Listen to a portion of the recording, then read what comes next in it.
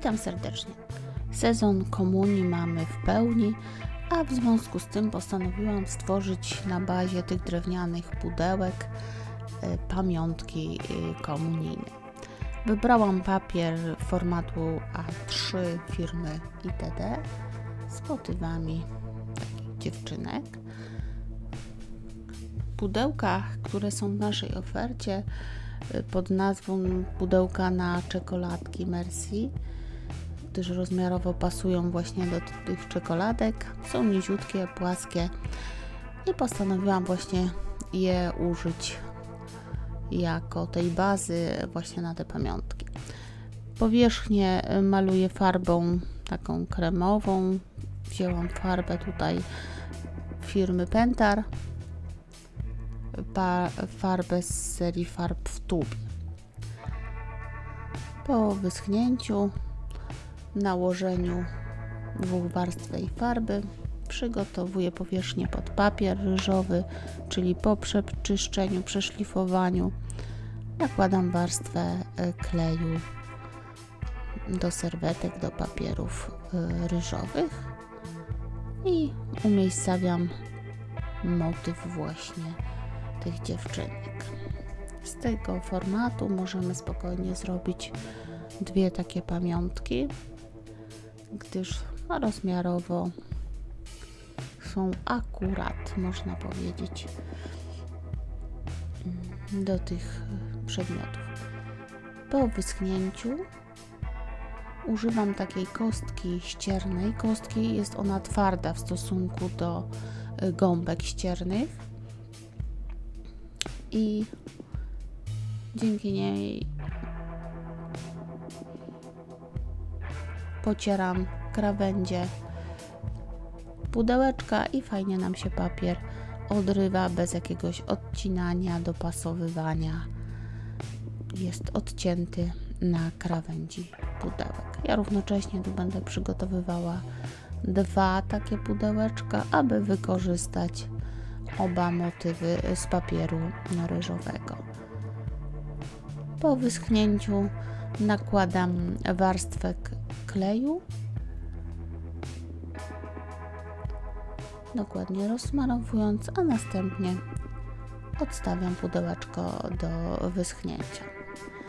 Tył tego pudełka postanowiłam ozdobić takimi stonowanymi dekorami, też papier firmy ITD. Dobrałam kolor stycznie do dziewczynek. Przyklejam.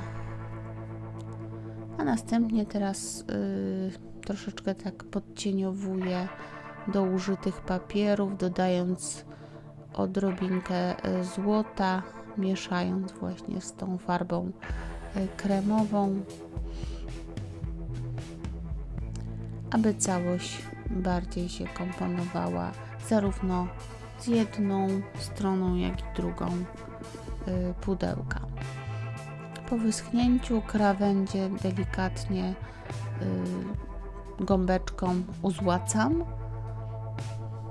Też właśnie ten papier jest taki z motywami złotymi, a następnie po wyschnięciu całość lakieruję, nakładając dwie warstwy lakieru o wysokim połysku szklącego lakieru firmy Pentar. Naprawdę jak na te płaskie powierzchnie nałożymy dwie warstwy lakieru, no robi się nam taka glazura i naprawdę powierzchnia jest mocno błyszcząca. No i tak właśnie prezentuje się po nałożeniu dwóch warstw. Następnie postanowiłam jeszcze wykorzystać tutaj szablony przypadku tej dziewczynki, takiej w kolorach bardziej żółto-złotych, używam pastę do szablonów firmy Pentar w kolorze e, złotym. I odbijam wyrównując właśnie taką dużą szpatułką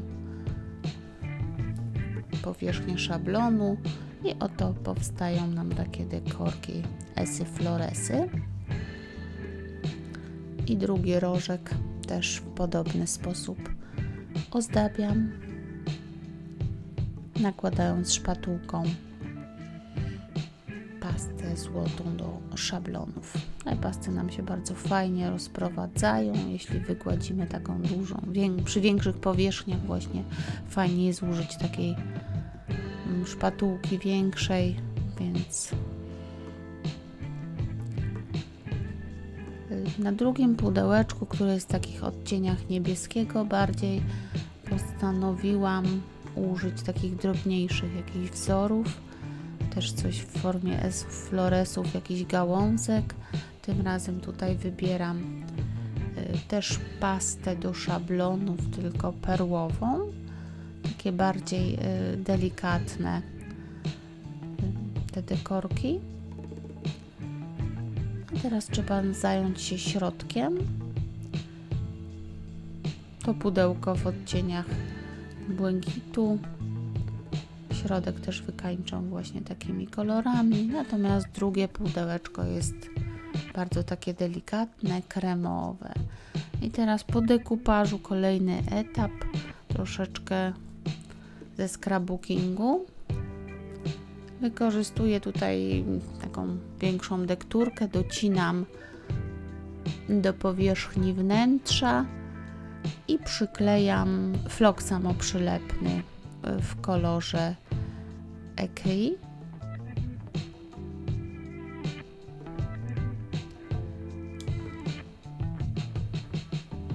Dopasowuję do powierzchni mojego pudełka, a następnie wybrałam tutaj taki papier do scrapbookingu firmy Ciao Bella, włoskiej firmy i wycinam właśnie z niego takie elementy. Nadrukowałam na jednym elemencie treść y, pieśni, właściwie o kruszy na chleba, a na drugiej części życzenia, dedykacje. Na taśmie dwustronnej przyklejam właśnie te wydrukowane życzenia, sentencje, a następnie drugą warstwę taśmy dwustronnej i będę na niej y, mocować y, koronkę. No te taśmy właśnie świetnie nam się sprawdzają, nic nam tutaj nie przemaka, jak w przypadku kleju. Y, koronki, wszelkie wstążeczki świetnie się nam mocują. Jednak jak przykleimy na jakimś tam kleju, lubi nam gdzieś podcieknąć, czy, czy po prostu przebijać ten klej. A taśmę dwustronna do tych prac fajnie się sprawdza. Docinam moje koronki i już jedną część pudełeczka wnętrza mam prawie gotowe. Jeszcze z tekturki dermaty wycięty dekor rąk z chostyjką. Wklejam całość na kleju i tak powstaje druga część w ten sam sposób przyklejam na taśmę dwustronnej koronki i całość mocuję na stałe w moim y, pudełku. Pozostało jeszcze wcisnąć magnesy i pamiątka komunijna y, jest y, już gotowa. Tak się prezentuje w końcowym efekcie.